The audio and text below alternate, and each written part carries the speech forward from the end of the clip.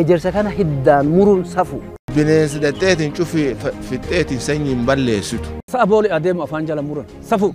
Safuun hapheedha.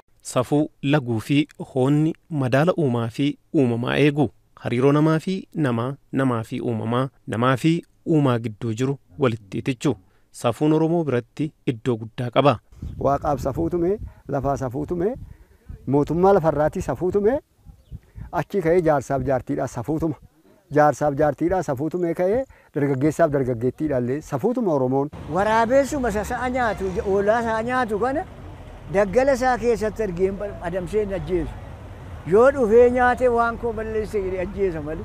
Sanyii eeguu kinniisaa yoo ija baafattu agirra guurratu kinniis damu agu guurratu guurrattee isallee lakkisuu malti. Bineensa dhakaa muka bishaan waan cufa lubbuu qabuuf lubbuu hin qabne kan lafa kanarra jiru cufaaf safuuf safeeffannaa qaba Oromoon. Safuun yoo cabe gosti bahee safuu cabe duudhaa isaan deeffata. Kan gorsu gorsee kan dheekkamu dheekkamee kaaniif diniina kenna. Kan adabu adabee safuu iddootti deebisa. Takka gorsii takka obsii jedhe.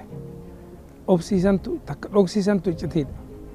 Sadeenuu galuu safuun laguun hoon kan jedhamu kun gorsaa uumaa Oromoo keessatti isa ijoodha.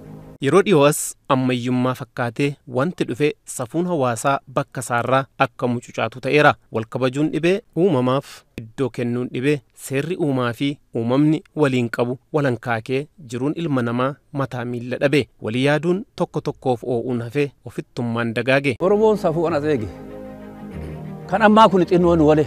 Hayyoonni akka jedhanitti biyyi kan isheen diigamtu gaafa wallaalonni wacanutu hin taane gaafa beektonni callisanidha jedhu safuun erga madaala uumaa fi uumamaa eeguuf waan godhamuu qabuu fi godhamuu hin qabne eegdi ta'ee warri beekan maaliif callisaniin gaaffii nama hundaati. Umriis nama gabaabsa bara. Heera malee yoo jetteen ee umrii nama gabaabsa sabba torba fincaan nama gabaabsa balbala namatti cufa. Nami aadaan beekee nami hin kajabu. Nami aadaan bula aada sun hin beekne aada seera oromoo aada gadaa hin beekne ammoo aadaan tunini aggannaa keessumatti gannaa dhibba lamaati gad guddoo miidhamteetiin jirti wanni waannaa wallaalcha.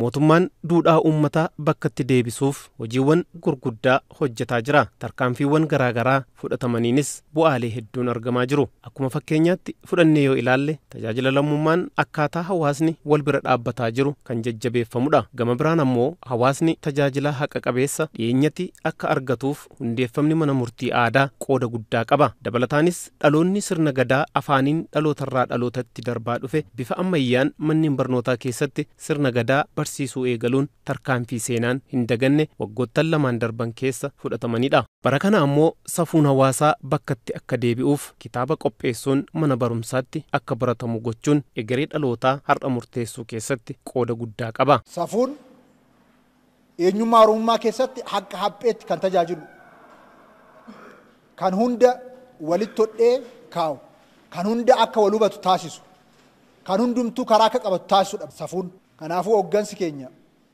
barsiisonni keenya imaanaa kana qabatanii dhaloota safuudhaan qaruudhaaf cimsuu hayyoonni kana hojjetan immoo kana caala barnoota kana gabbisuudhaaf qorannoodhaan qo'annoodhaan akka cimsitanii hojii yeroo tokko qofa gootanii oduu hin taane itti fufiinsaan akka karaa qabsiistan imaanaa isin jechuun barbaada.